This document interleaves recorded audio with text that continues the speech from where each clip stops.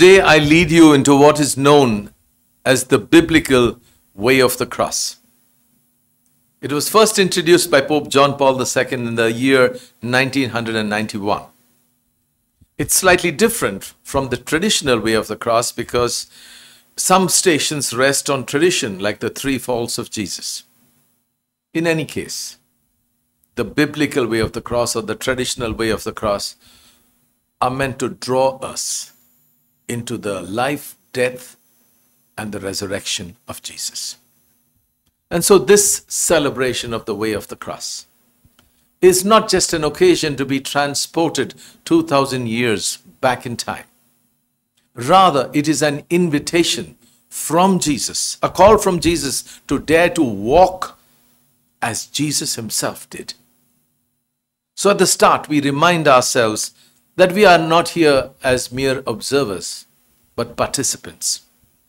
Hence, I urge you to enter into this as an experience. I invite you to listen not just with your ears, but also with your hearts. I ask you to pray not just with your lips, but with your soul. And then we will have touched the cross of Jesus. Or more importantly, we have allowed the cross of Jesus to touch us and to redeem us. We are here to embrace the cross with Jesus as we walk with Him, for He alone can make our cross meaningful. For He alone can turn our painful cross into a way that is life giving, a way of redemption, a way truly of life. Let us therefore be aware of two things. First, the suffering that we all go through. And secondly, the crucified and the risen Jesus walks with us in our suffering. So, our prayer today is not just about the trail or the way to Calvary. Rather, it is the existence of the cross in our homes, our parish, our city, our country, and the world. But with this important fact Jesus walks with us in our suffering. And because Jesus walks with us and in us, his people, we can say that Jesus goes again to be crucified in us. Bishop Fulton Sheen expresses this very dramatically. He says this You are described in the gospel, you are foreseen, even named. And it's only necessary that you open the book and you will recognize yourself immediately. So then, dear friends, the passion begins in the year 2022 with the same roles, the same characters as it was at the time of Jesus. Take a look at your own home or neighborhood. Is there someone who suffers, who's lost a loved one in death, who's lonely, in pain, enduring shame and humiliation? Someone who experiences the cross. Take a look at society around us. There is injustice and discrimination. People are oppressed and brutalized. Collectively, whole groups are burdened under the weight of the cross because of casteism, because of language, because of petty politics. Here they all are, waiting for us. Yes, you and me. Who will be Simon of Cyrene? Who will be the women of Jerusalem? Come, the parts are being distributed. There's some role for everybody. Nobody is going to be left out. Does anyone want to be Pilate? Or someone wants to be Peter? Who wants to be the beloved disciple? And does anyone want to be Judas? There are different people all around the cross. Some are standing nearby, some watching from a distance. Where do you stand? Where do you take your place? What an extraordinary opportunity is ours. We can choose our own roles. We can be for Jesus whomever we want to be. We can be in the enormous crowd of his enemies or merely hide among the indifferent bystanders. Or we could choose to be his faithful disciples with attentive faces, love in our hearts, ready with gestures of compassion. Therefore, let us enter into this experience, the way of the cross, so that it becomes for us the way of redemption, the way of life.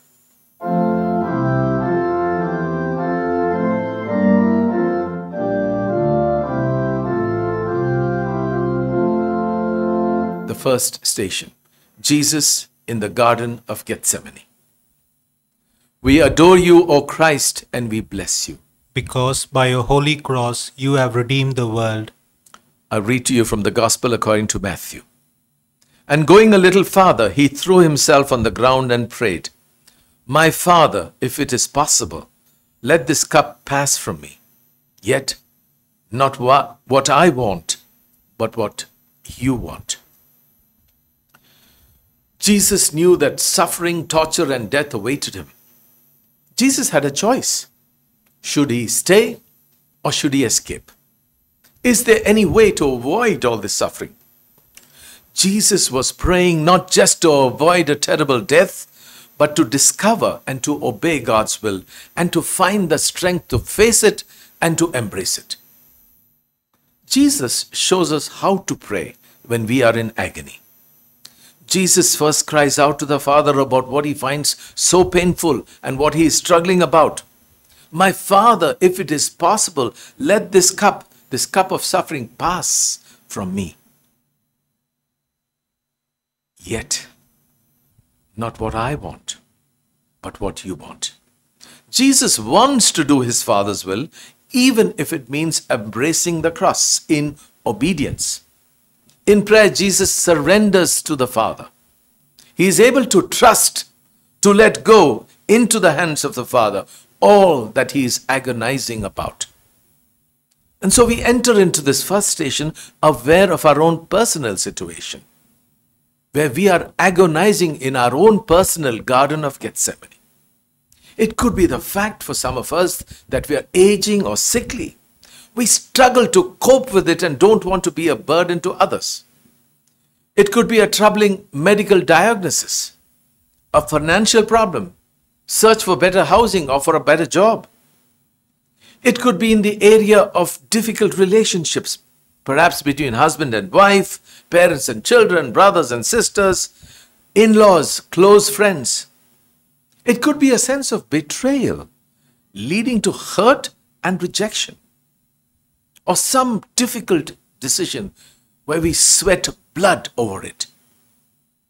We do what we can and what we need to do, even as we pray.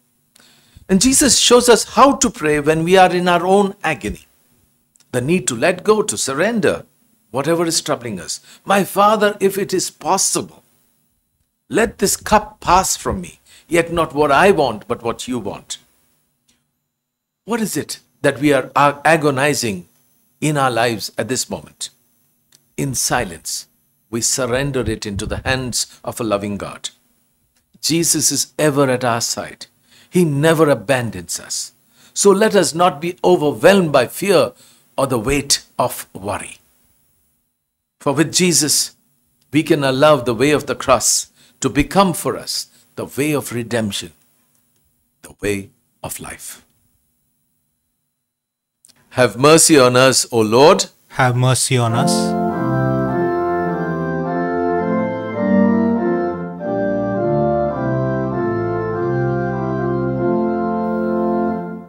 The second station Jesus is betrayed by Judas and is arrested. We adore you, O Christ, and we bless you. Because by your holy cross you have redeemed the world. I read to you from the Gospel according to Mark. Now the betrayer had given them a sign, saying, The one I will kiss is the man. Arrest him and lead him away under guard. So when he came, he went up to him at once and said, Rabbi, and kissed him. Then they laid hands on him and arrested him. There surely would have been some goodness in Judas. But Judas was certainly misguided. Misguided enough to bring harm to Jesus, to others, to himself. Jesus treated him as a friend. After all, Judas was created in the very image of God. After all, Jesus himself chose Judas as one of the twelve. Jesus even washed his feet. It did not mean that Jesus condoned the act of treachery and betrayal. But Jesus was able to look beyond this act of betrayal and see in him the image of God.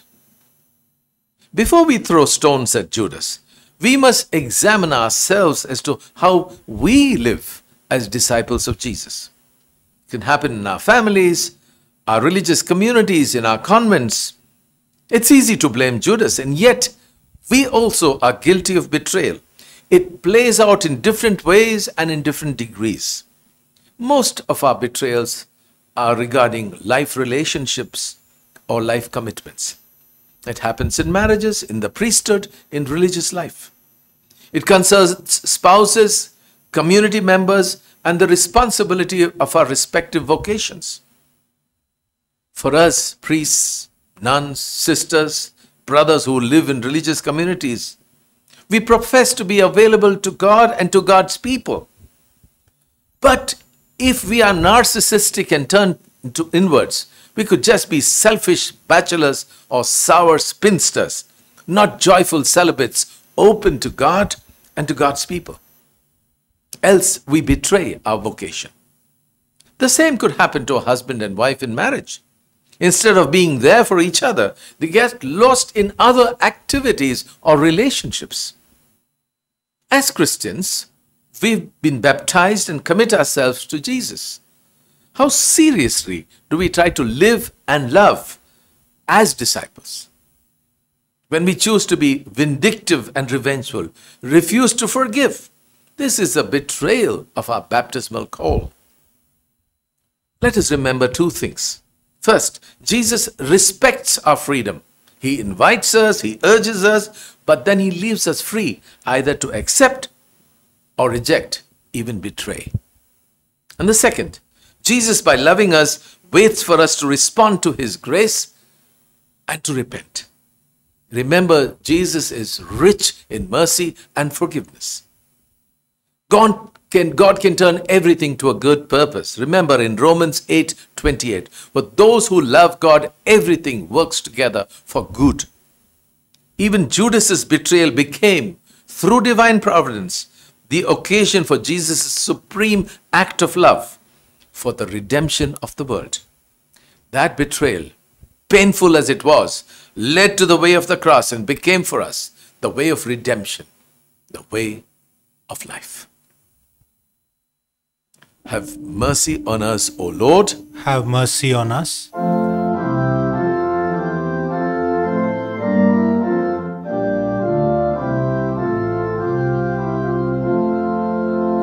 The third station, Jesus is condemned by the Sanhedrin. We adore you, O Christ, and we bless you. Because by your holy cross you have redeemed the world. The Gospel according to Luke. All of them asked, Are you then the Son of God? He said to them, You say that I am. Then they said, What further testimony do we need? We have heard it ourselves from his own lips. Jesus is dragged before the Sanhedrin, an assembly of the Jewish religious leaders. They decided that Jesus was to be killed.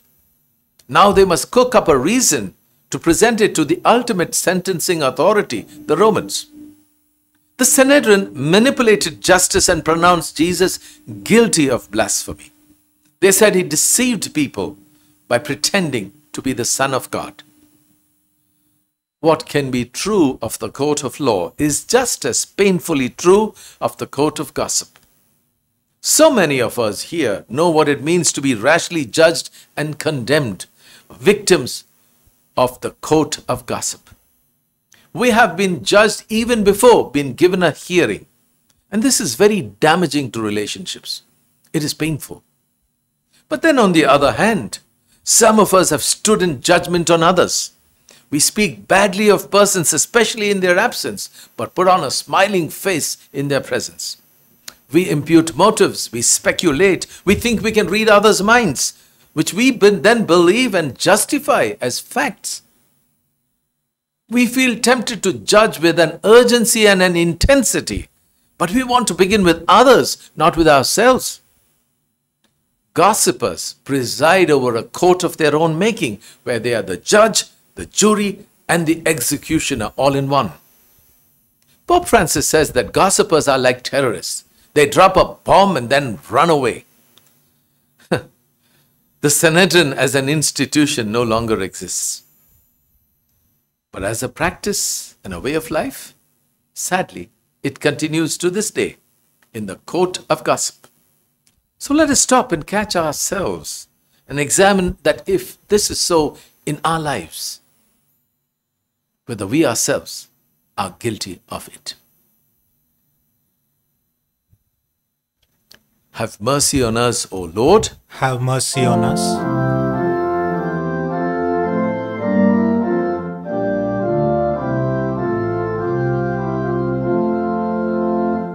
The fourth station. Jesus is denied by Peter. We adore you, O Christ, and we bless you. Because by your holy cross you have redeemed the world. From the Gospel according to Luke. But Peter said, Man, I do not know what you are talking about. At that moment, while he was still speaking, the cock crowed. The Lord turned and looked at Peter. Then Peter remembered the word of the Lord and how he said to him, Before the cock crows today, you will deny me three times. And he went out and wept bitterly. Peter, who proclaimed Jesus the Christ, the Son of the living God. Peter, whom Jesus trusted with leadership. Peter, who when many walked away said, Lord, to whom shall we go? You have the words of eternal life. Peter, who said, Others will leave you, but I will never deny you. Now, this Peter denies Jesus not once or twice, but three times. How could Jesus have responded? Peter, I'm done with you. Yes, I trusted you so much, and this is what you do? I chose you over others, and this is how you behave? Don't ever show your face to me again. This is how many of us would respond. We fling the past at people's faces with a self righteous triumph. No, Jesus did not say anything like this at all. Jesus just looked at him. Not a look of condemnation, but of a wounded love. A loving look that evoked repentance and opened the door to healing. And Peter weeps. They are tears of repentance and of healing. And Peter could never go back to denying the Lord after that. It is not fear and terror that impels us to change, only love. St. Alphonsus Liguori, the founder of our Redemptorists, insistently repeats any change or repentance based on fear will never last, only that based on love. Jesus persists in loving because love alone changes, love alone heals, love alone helps us to grow. I'm sure that we try to be faithful to the Lord in so many ways, in ways that are so committed and dedicated. But it could also be that we have denied the Lord by the values we live by, by failing to participate in the life of Jesus, his body, the church. Has the regular Sunday Eucharist become a source of life and strength for us? Or do I go for Sunday Mass only occasionally when I feel like it? Or again, have I allowed the Lord to heal me of all the denials and to forgive me tangibly and concretely in the sacrament of confession? Today, Jesus looks at us tenderly. Let his gaze rest on you and on me. Love alone washes away our denial and our betrayal. It is a look of love. And like Peter, we weep at being loved so much in spite of our failures. And even our denials, now repented and confessed, become a way of redemption, a way of life. Have mercy on us, O Lord. Have mercy on us.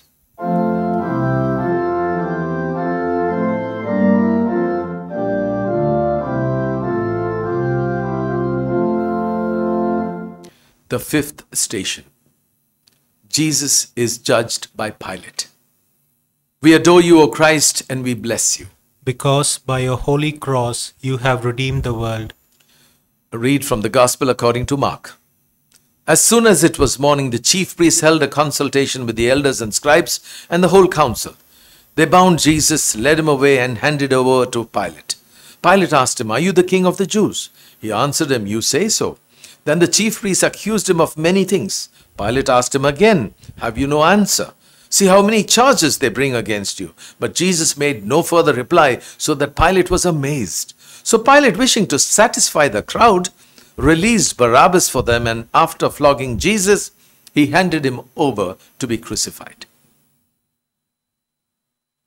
Pilate is playing political games. It does not matter that an innocent life is at stake. After all, he wants to please his Roman masters.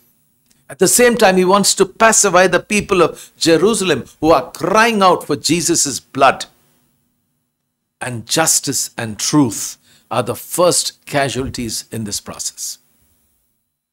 Pilate washes his hands, a simple but powerful gesture of escaping responsibility. Has that ever happened to us?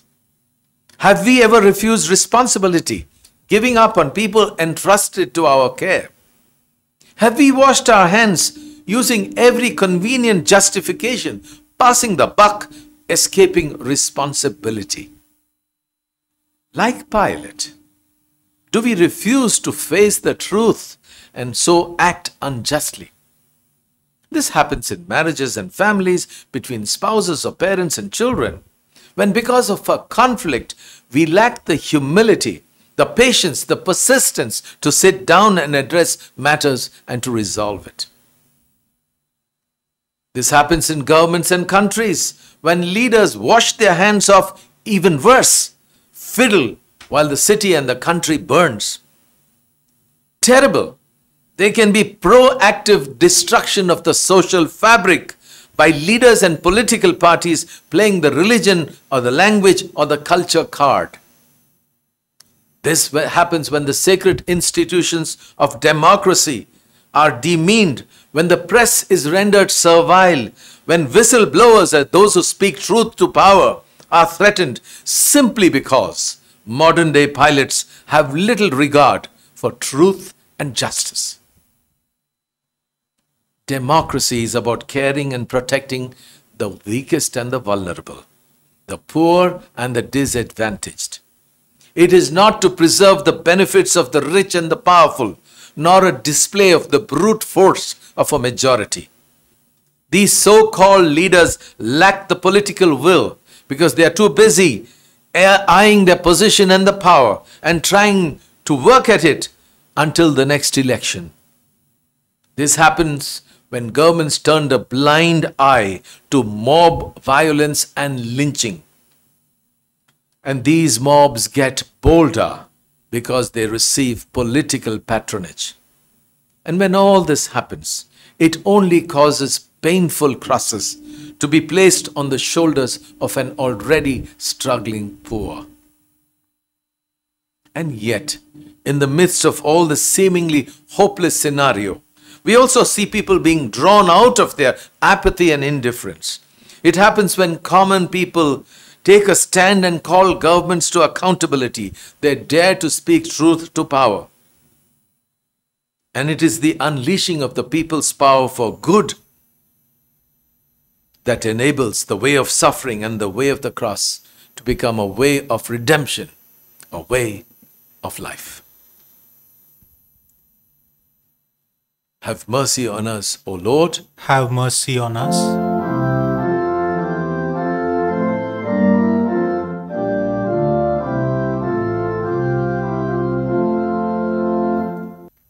The sixth station Jesus is scourged and crowned with thorns. We adore you, O Christ, and we bless you. Because by your holy cross you have redeemed the world. From the Gospel according to John. Then Pilate took Jesus and had him flogged, And the soldiers wove a crown of thorns and put it on his head, and they dressed him in a purple robe. They kept coming up to him, saying, Hail, King of the Jews, and striking him on the face. Pilate knows, even admits that Jesus is innocent. Yet Pilate gave in to the bloodlust of the crowd and finally handed Jesus over to be scourged and then killed. By calling him the king of the Jews, they mocked him. They dressed him in purple, the color worn by kings, and for a crown, they gave him a crown of thorns. What cruel irony! The scourging, the crowning with thorns continues even today.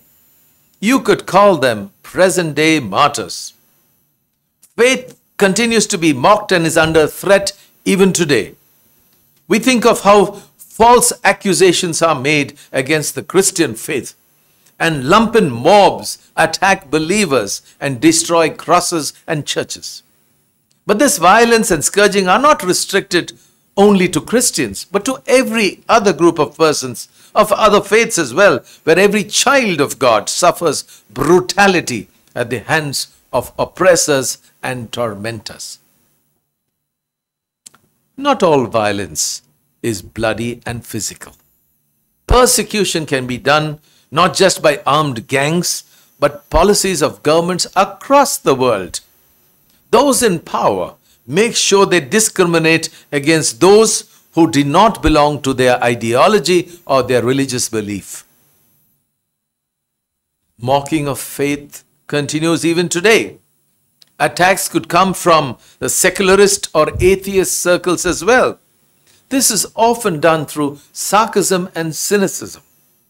They ridicule believers and say that faith is a farce and meant to keep you as infants.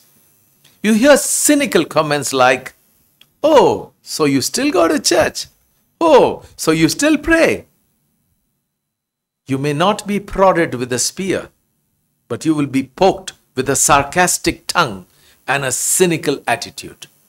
You may not be burned with crackling fame, flames, but you will be attacked and mocked with cackling laughter. Scourging and crowning, mockery and persecution continue even today. Persecutors and oppressors try even today to disfigure the face of God and the body of Christ. But the cross of Christ has the last word. The cross of Jesus triumphs even today, and it becomes then for us the way of redemption, the way of life. Have mercy on us, O Lord. Have mercy on us.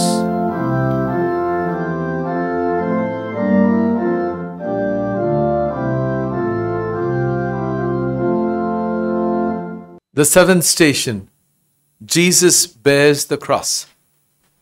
We adore you, O Christ, and we bless you. Because by your holy cross you have redeemed the world. From the Gospel according to John. Then he, Pilate, handed him, Jesus, over to them to be crucified. So they took Jesus, and carrying the cross by himself, he went out to what is called the place of the skull, which in Hebrew is called Golgotha. Jesus said on more than one occasion, If you wish to be my disciple, take up your cross and follow me. Now, not all suffering can be considered as a cross that we must bear. Not all suffering has to be accepted with passivity. That is why we medically treat illnesses and seek to relieve pain. Not all suffering must be tolerated. Some experience suffering that should not and need not happen, like abuse and violence, especially in the home. Some who suffer, but take great care to hide it in silence and tears to supposedly preserve the good name of the family. This silence empowers abusers who dare to inflict suffering even more. When people are subject to an abusive or toxic relationship, are treated like a doormat, especially in a home or family, that is not acceptable. Help must be sought. You could call these Good Friday people. Others suffer because of noble choices made. These could be people like conscientious judges, courageous journalists, when they take a stand on behalf of the oppressed or suffer injustice, they face attacks, insults, even death. Such upright people suffer because modern day leaders like Herod, Caiaphas, Pilate, and chief priests and the scribes.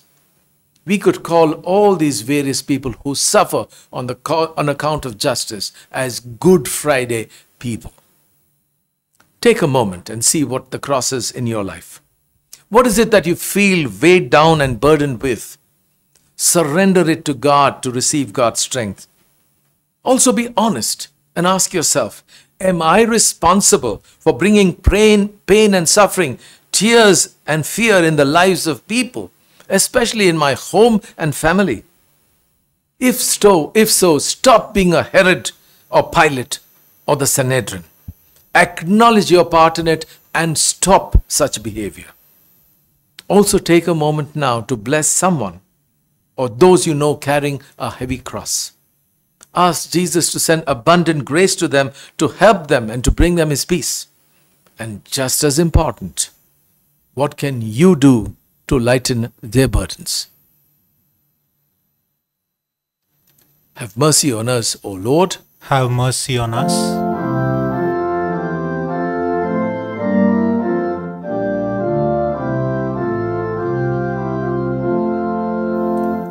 The eighth station Jesus is helped by Simon to carry the cross.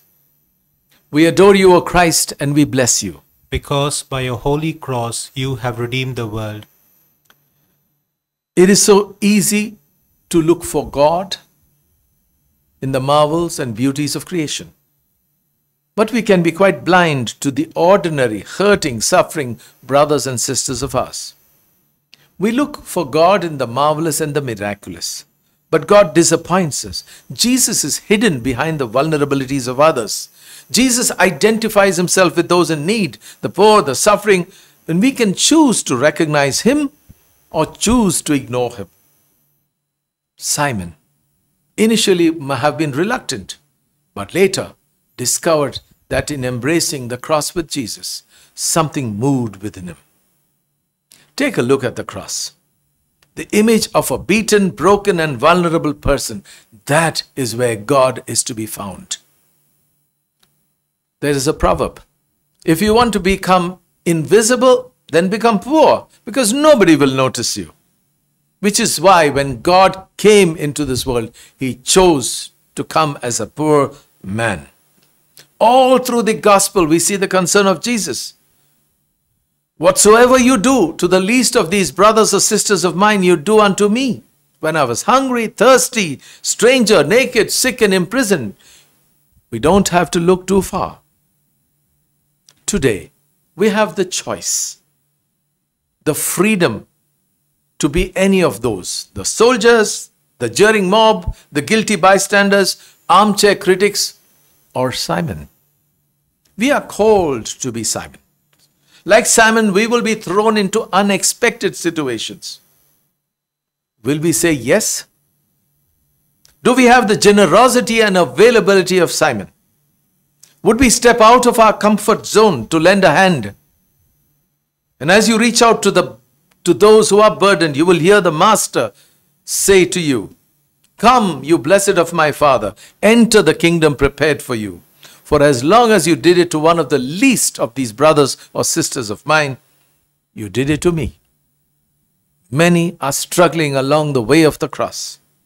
God invites you and me to transform their cross into a way of redemption, a way of life. Have mercy on us, O Lord. Have mercy on us.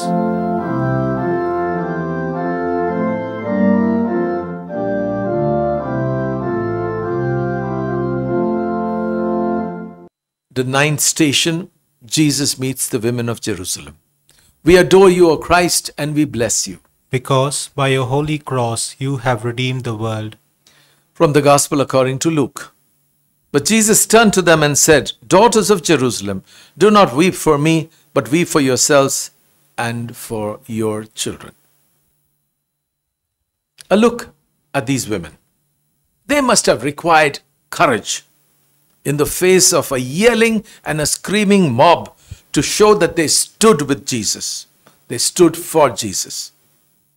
Today, too, we have to stand up to the pressure of colleagues, perhaps, to swim against the current, to be countercultural. To take a stand is not easy. One could imagine the filthy abuses that would have been thrown at these women for standing up for Jesus. The women of Jerusalem teach us courage when we have to stand up for what we believe. Jesus teaches us that even in the depth of pain, he is able to focus not on himself, but on others and their struggles as well. Let us bow our heads and, as we pray. Lord, we pray at this moment for all the women of the world. They are not really the weaker sex. May they treasure their moral strength. We pray for all our mothers and daughters and sisters, wives, widows, and single women. For all those who stand by us in silent silence and steadfastness. Bless all mothers who struggle for us day in and day out, but do not receive gratitude. Bless all wives, help them to be a source of strength, to make their homes a haven of peace. Bless our sisters, that they may fill the world with gentleness, goodness, and moral beauty. Bless all the single women and those who are widowed and separated, who face challenges and a society that does not properly respect or understand them. Bless all our nuns and religious sisters. May their lives be a constant sign of selfless love and total availability. And give us men, dear Lord, the graciousness and manly strength to respect and honor all women. Give us men the honesty and the courage to break away from all that disrespects women. May we men raise our voices against every form of violence and abuse in our homes and societies. And may we men work to create a climate where we no longer see this as only a man's world, but see women as equal and respected collaborators in building a just world. And may we jointly embrace the cross so that it becomes for us together a way of redemption, a way of life. Have mercy on us, O Lord. Have mercy on us.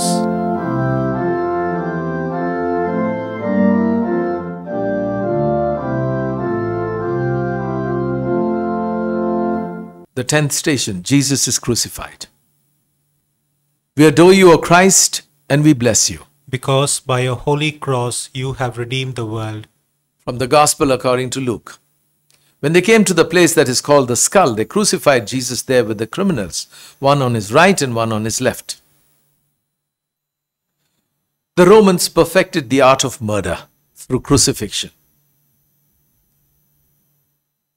But Calvary is no longer only a historical place, it is a situation. A situation of sin, not only personal sin, but also social sin. It's about personal sin where we hurt and destroy and wound each other in our relationships. It's also about social sin when those sins are embedded in society and which we practice because they are so much part of our culture. Calvary is when people are nailed, whether as child workers, domestic laborers, or bonded laborers. Calvary is when people are stripped of their rights and dignity, or women forced into prostitution and pornography. Calvary is when money lenders and loan sharks suck the blood of the poor. Calvary is when people are polled caste and discriminate against others. Calvary is when people lynch another because he or she does not share their faith, their language, or food habits. Calvary is when constitutional rights are trampled and people are attacked in the name of language or culture or religion. Calvary carries the burden of sin, personal and social sin, and that sin brings death. Calvary is today. Calvary is now. For where there is suffering, there is Calvary. And that is holy ground because Jesus suffers and is crucified in that person.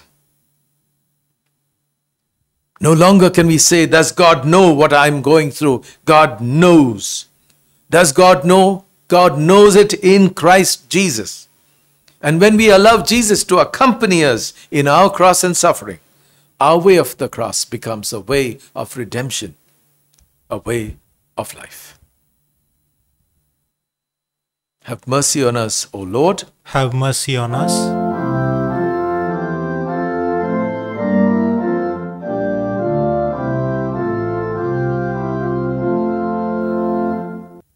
The eleventh station. Jesus promises his kingdom to the good thief. We adore you, O Christ, and we bless you. Because by your holy cross you have redeemed the world. From the Gospel according to Luke. Then he said, Jesus, remember me when you come into your kingdom.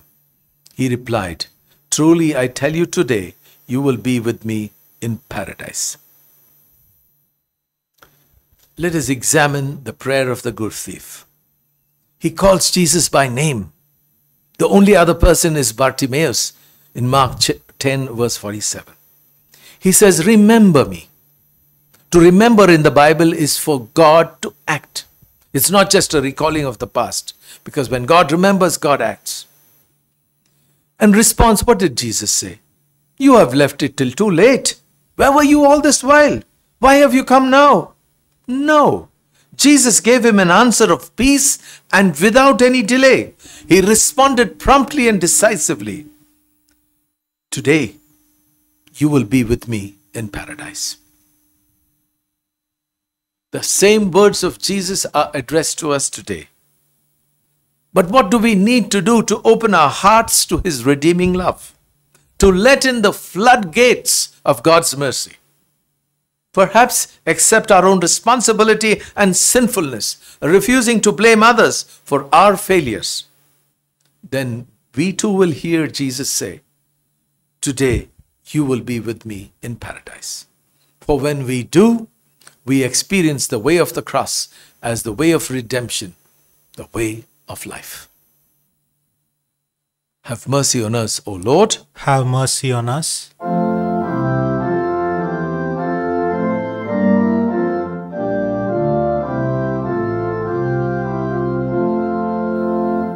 The twelfth station Jesus speaks to his mother and the disciple. We adore you, O Christ, and we bless you. Because by your holy cross you have redeemed the world. From the Gospel according to John. Meanwhile, standing near the cross of Jesus were his mother, his mother's sister Mary, the wife of Clopas, and Mary Magdalene. When Jesus saw his mother and a disciple whom he loved standing beside her, he said to his mother, Woman, here is your son. Then he said to the disciple, Here is your mother. And from that hour, the disciple took her into his own home. Jesus wants us to experience the presence of his mother. Her faith story was a struggle story. And Jesus knew that this mother of his was too precious for him to keep to himself. He knew that we would need her. He believed that we would appreciate the precious gift with gratitude because she's a mother who cares for us, who understands us, who loves us. She is now our mother and we are her children. The beloved disciple. He stood at the cross. That was not the safest place to be. It took courage and love for John to be there, and Jesus acknowledges his presence. And so Jesus entrusts the gift of Mary as mother to John, who stands in place of us all. Jesus believed that we would appreciate this precious gift because she is a mother who will perpetually be there for us. We pray. Lord, we thank you for the gift of Mary, our mother. She stands at the foot of the cross as woman and mother. She seems to do nothing, and yet she does everything. She offers the very being to you in silence, in solidarity, in support. She is truly a great help, a perpetual help. Mary, our mother, you have been through it all yourself. We ask that you guide us in how we allow the way of the cross to be transformed into the way of redemption, the way of life. Have mercy on us, O Lord. Have mercy on us.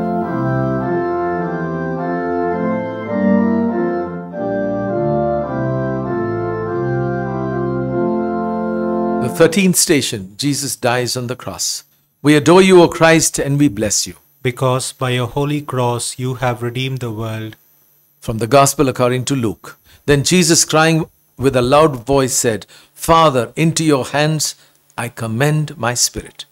Having said this, he breathed his last. Most religious founders are portrayed triumphantly. But in any Catholic church, the central is the crucifix. It reveals the image of what might seem as a defeated God. Perhaps this doesn't shock or scandalize us anymore, but yet this powerful symbol is the reason for faith and for hope. That is why victims and broken people in history can relate to such a God. Jesus did not die of sickness or in a hospital bed or of old age. Jesus was killed, Jesus was assassinated, Jesus was murdered. It was a religious murder at the hands of the Sanhedrin, the religious authorities, and a political assassination at the hands of the Roman, the government authorities.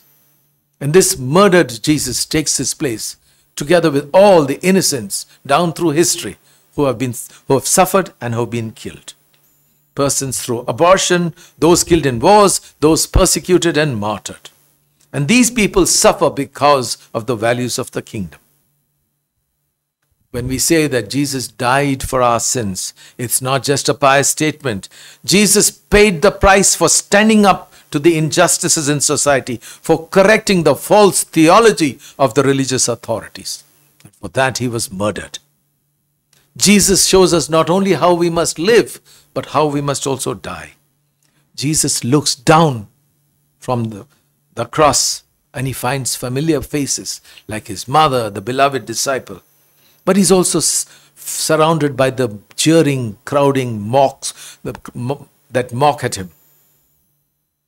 As Jesus looks down, where would we place ourselves? In silence, allow Jesus to speak to us from the cross. Have mercy on us, O Lord. Have mercy on us.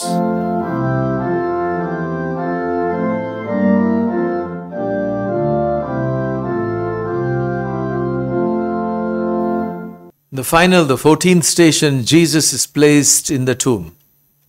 We adore you, O Christ, and we bless you. Because by your holy cross you have redeemed the world.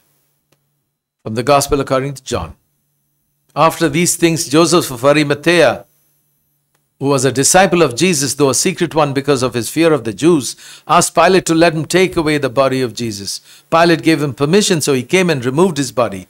Nicodemus, who had first come to Jesus by night, also came, bringing a mixture of myrrh and aloes weighing about a hundred pounds. They took the body of Jesus, wrapped it with spices and linen cloths, according to the burial custom of the Jews. Two important figures Joseph of Arimathea and Nicodemus. Joseph was a respected, wealthy civic leader. The courage he shows in approaching Pilate for Jesus' body. Remember, Jesus was a condemned criminal who had been publicly executed. What about Nicodemus, who was part of the religious council? He comes first at night, John 2:23. Then he perhaps he was afraid of being seen with the rebel. Again in John 7:50, he has the courage to speak up the name of Jesus against the decision of the Sanhedrin. And now, in full public display, he's made a journey of faith. He has the courage to come out of the darkness into the light because he has experienced the light who is Jesus. And like Nicodemus, this way of the cross continues to be for us a journey of faith into the light. Jesus is now buried in the tomb. God does not abandon us. No place is forsaken by God. Jesus descends into the very depths of the earth, the very depths of our human suffering, so that we will experience the power of His redeeming presence. And especially at death, we experience the way of redemption, the way of life. Have mercy on us, O Lord. Have mercy on us.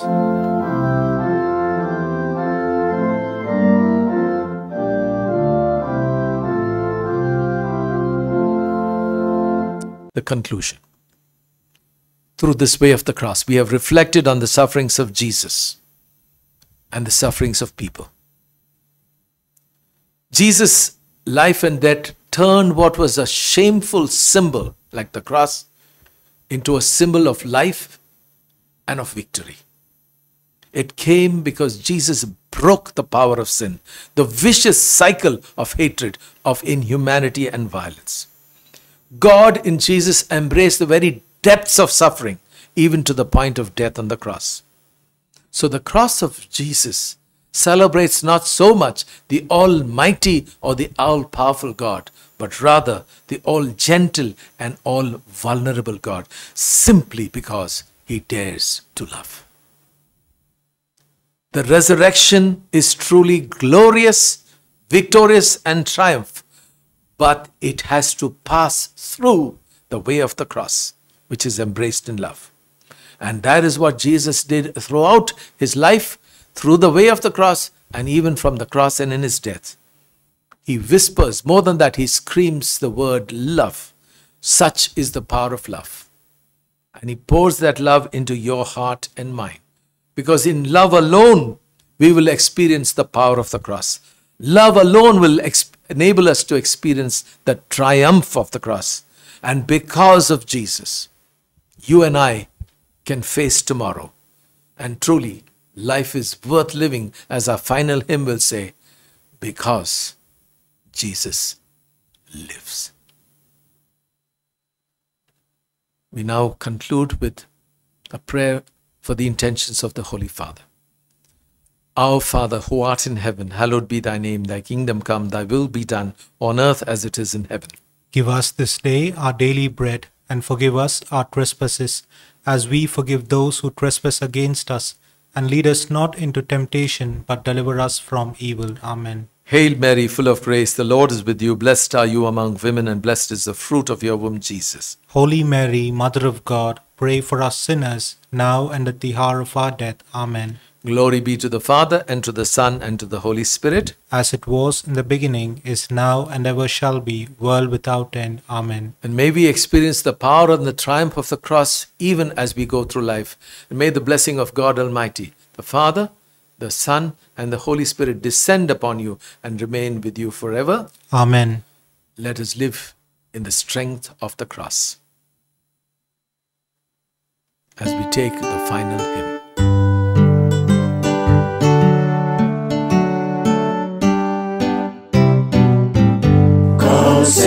His son.